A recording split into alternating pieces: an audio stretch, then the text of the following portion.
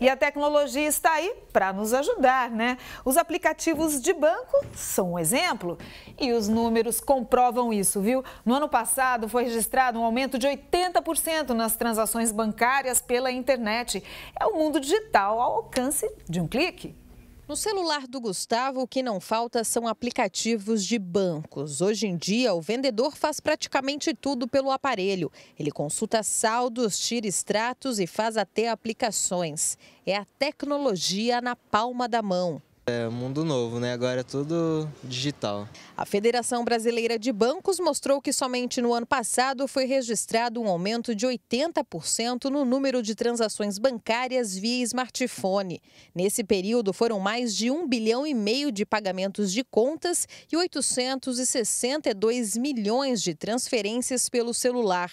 Atualmente, existem duas formas de realizar transações bancárias pelo aparelho: o Internet Bank, onde o internauta utiliza um navegador para acessar os dados bancários e o Mobile Bank, onde o acesso é por meio de aplicativos oficiais de bancos. O aplicativo ele não acessa nenhuma informação interna do celular, nenhuma informação de outro aplicativo ou dados do próprio.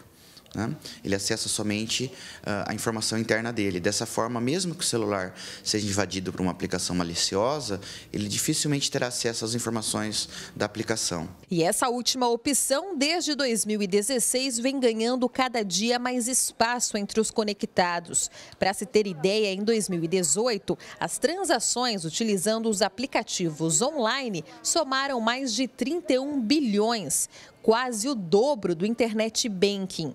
Mas o consultor afirma que, apesar de toda essa facilidade, não é bom nunca bobear, porque senão isso pode se transformar em dor de cabeça lá na frente. Somente usar aplicativos oficiais, baixados das lojas oficiais, uh, as permissões não fizer nada diferente do que ele pedir na sua instalação, manter, obviamente, né, o aplicativo atualizado sempre que surgir uma atualização, não deixar os dados já da conta gravados no próprio aplicativo, evitar principalmente o uso de redes Wi-Fi públicas, como por exemplo um hotel, um shopping, né?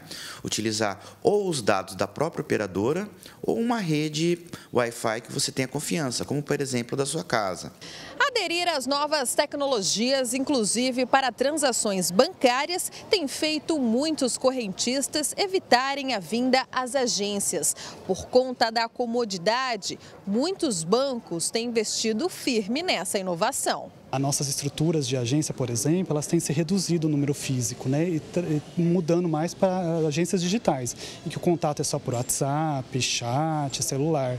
E hoje o banco vem criando aplicativos para o cliente ter mais comodidade e o banco se beneficia com o custo, né? De não manter uma estrutura física para atender o cliente. Ainda de acordo com este gerente de banco, o público tem aceitado muito bem as mudanças. A aceitação é imensa mesmo, porque a comodidade que o digital gera, né, a pessoa poder pagar em casa, agendar seus serviços a qualquer horário, final de semana, a aceitação é muito boa mesmo.